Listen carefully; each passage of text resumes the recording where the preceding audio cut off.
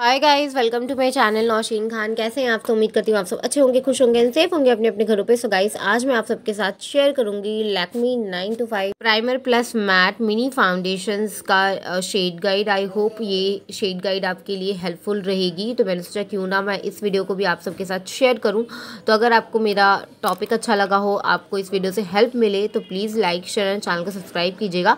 तो without any wasting of time चलिए video start करते हैं। गाइस हमारा जो फ़र्स्ट शेड है, वो fair skin skin tone plus pink undertone के लिए अगर आप फेयर स्किन टोन हो प्लस पिंक अंडरटोन देन आपको जो शेड लेना है, वो लेना है cool ivory shade cool ivory जो शेड है, वो है fair skin tone plus pink undertone के लिए. तो हमारा जो नेक्स्ट शेड है, वो है fair skin tone plus yellow undertone के लिए.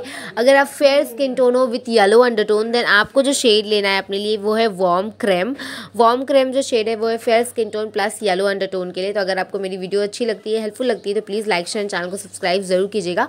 तो चलिए हम अपने नेक्स्ट शेड के ऊपर बात कर लेते हैं, जो हमारा नेक्स्ट शेड है, वो है medium skin tone plus yellow undertone अगर आप मीडियम स्किन टोन के हो और आपका अंडरटोन येलो है देन आपको जो शेड लेना है वो है वार्म नेचुरल वार्म नेचुरल जो शेड है वो है medium skin tone plus yellow undertone बहुत अच्छा आप मीडियम एंड वार्म होना तो go for it this shade was amazing so guys हमारा जो अगला शेड है वो है medium skin tone plus neutral undertone के लिए. अगर आप मीडियम स्किन टोन हो प्लस न्यूट्रल अंडरटोन देन आपको जो शेड लेना है वो है न्यूट्रल न्यूड ये जो शेड है वो है medium skin tone plus neutral undertone तो हम अपने नेक्स्ट शेड के ऊपर चलते हैं. हमारा जो अगला शेड है वो है medium dusk skin tone plus yellow undertone अगर आप मीडियम डस्क स्किन टोन और आपका अंडरटोन येलो है देन आपको जो शेड लेना है अपने लिए, वो है वॉर्म बेज वॉर्म बेज जो शेड है, वो है medium dusk skin tone plus yellow undertone के लिए.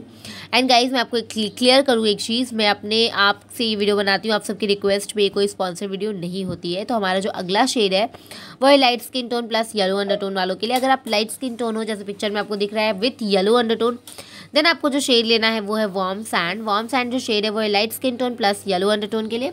हमारा जो अगला स्किन टोन है, वो है medium dusk skin tone plus neutral undertone अगर आप मीडियम डस्क स्किन टोन हो प्लस न्यूट्रल अंडरटोन देन आपको जो शेड लेना है, वो है न्यूट्रल मीडियम ये जो शेड है ना, ये medium dusk skin tone plus neutral undertone के लिए है. तो go for it for neutral medium बहुत अच्छा शेड है. शेड रेंज का हमारा लास्ट शेड जो है, वो है light skin tone plus pink undertone अगर आप लाइट स्किन टोन हो विथ पिंक अंडरटोन देन आपको जो शेड लेना है, वो है कूल रोज़ कूल रोज जो शेड है skin tone plus pink undertone के लिए। तो आई होप आपको वीडियो अच्छी लगी हो तो लाइक शेयर चैनल को सब्सक्राइब ज़रूर कीजिएगा। मिलते हैं नेक्स्ट वीडियो में, तब तक अपना ख्याल रखिएगा। बाय गाय